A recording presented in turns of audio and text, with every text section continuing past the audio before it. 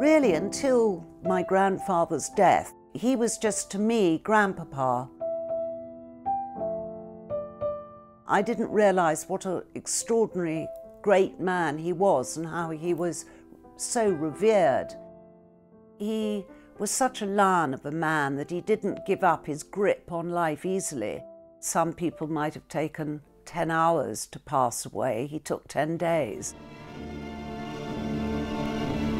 Long over Westminster will linger the spirit of Winston Churchill. I was 14.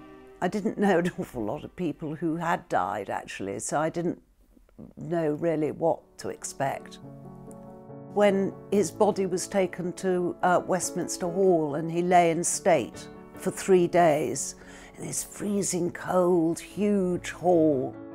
The muffled sound as this never ending stream of people walked by.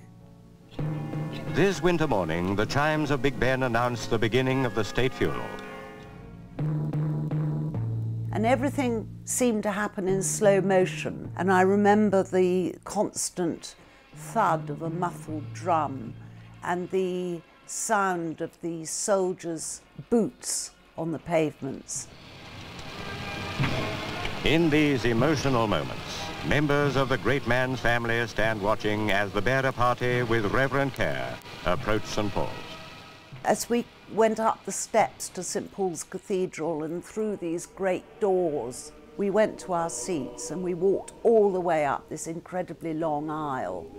And as one sort of dared to look up, if you like, there were all the heads of state and kings and queens all sitting there.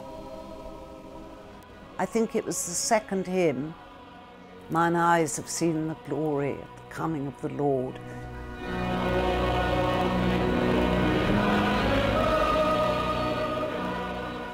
And as we sung that, a single shaft of sunlight came through the high windows of the cathedral and went zip onto the coffin. I mean, it was just extraordinary.